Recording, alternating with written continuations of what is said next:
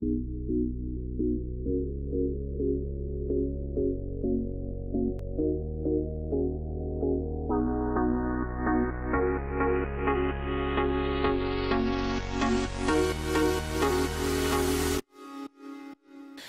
don't have to